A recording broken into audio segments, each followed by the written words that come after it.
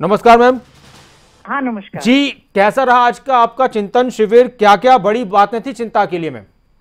बहुत ही कामयाब बहुत ही सक्सेसफुल और बहुत से मुद्दों को लेकर आज यहाँ पर चर्चा हुई। करीबन जो है नौ प्रस्ताव इस चिंतन शिविर में रखे गए। उन प्रस्तावों का अनुमोदन भी और उस पर चर्चा भी हुई और उनको फिर उसके बाद जो है वो पास भी करवाया गया। चाहे वो आर्थिक थे राजनीतिक है सामाजिक एवं अधिकारता है महिला एवं बाल कल्याण को लेकर थे कुछ हमारे लॉ एंड ऑर्डर को थे और कृषि एवं किसान कल्याण है और महँगाई और बेरोजगारी को लेकर तमाम इस तरह के मुद्दों पर आज जो है बहुत अच्छे ढंग से कांग्रेस के इस चिंतन शिविर में जहाँ प्रस्ताव रखे गए उन पर पूरी तरह से चिंतन भी किया गया और आगे के जो कार्यक्रम है पार्टी के पार्टी के ये भी है।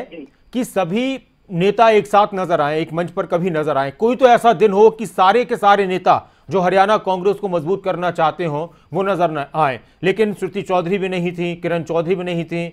विवेक बंसल को तो आपने बुलाया नहीं कि आप आपके पार्टी के और भी विधायक कह रहे हैं कि उनके कर्मों का फल है, उन पर विश्वास नहीं है। तो फिर ये चिंता की बात नहीं है कांग्रेस के लिए? इस पर भी चिंता होनी चाहिए। देखिए, मैं ज़रूर कहना चाहूँगी कि आपको ज़रूर मालूम होगा कि आज सभी हमारे करीबन उनतीस विधायक इसमें शामिल हुए। हमारे पूर्व विधायक शामिल हुए। इसमें हमारे कांग्रेस पार्टी के अध्यक्ष आदरणीय उदय भान जी शामिल हुए। इसमें हमारे आदरणीय leader of opposition Chaudhary Bhupender Singh Hooda ji शामिल हुए। हमारे राज्यसभा के सांसद सीडब्ल्यूसी के मेंबर सांसद भाई दीपेंद्र हुडा जी शामिल हुए, जो एक्स एमपीज हैं, वो इसमें शामिल हुए। विभिन्न संगठनों के हमारे अध्यक्ष एनएसयूआई यूथ कांग्रेस महिला कांग्रेस की अध्यक्ष इसमें शामिल हुई।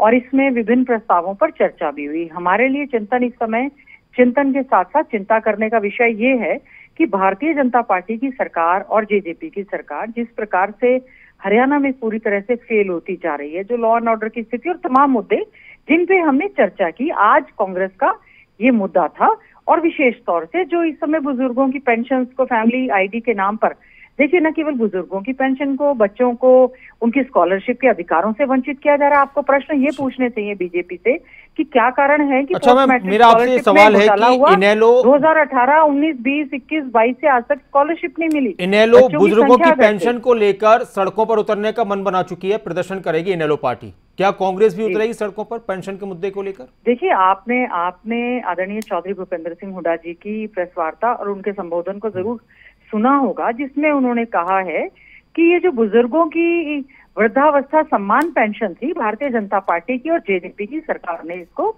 अपमान पेंशन में बदलने का काम किया है। आने वाले मानसून के सत्र में हम लोग एडजमेंट मोशन भी लेकर आ रहे हैं और हम लोग कॉल अटेंशन मोशन लेकर आ रहे हैं। कल ही हमारी कांग्रेस लेजिस्लेटिव पार्टी की सीएलपी की मीटिंग है जो कि आदरणीय चौधरी भूपेंद्र सिंह हुडा जी ने जो हमारे सीएलपी नेता हैं उन्होंने बुलाई है। ये बहुत ही महत्वपूर्ण मुद्दा है हमने शिविर में मैंने खासतौर से अपने सामाजिक न्याय वाले में security and safety of senior citizen बुज़ुर्ग केवल पेंशन नहीं। सीनियर सिटीजन की सेफ्टी एंड सिक्योरिटी के लिए सरकारों को क्या करना चाहिए? उनके प्रति अपराध बढ़ रहा है उसके ऊपर चिंता हमें कैसे करनी चाहिए?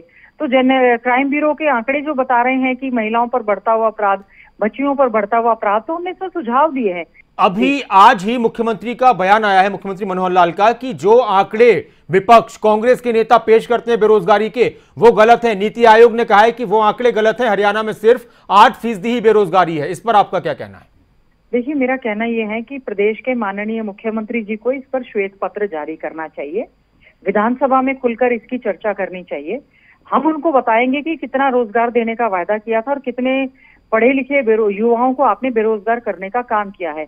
अगर ये बात गलत है तो मुख्यमंत्री की उनकी पूरी सरकार है। बहुत तो बहुत करें। बहुत बहुत शुक्रिया। खबर अभी तक के साथ जुड़ने के लिए गीता फुक्कल जी।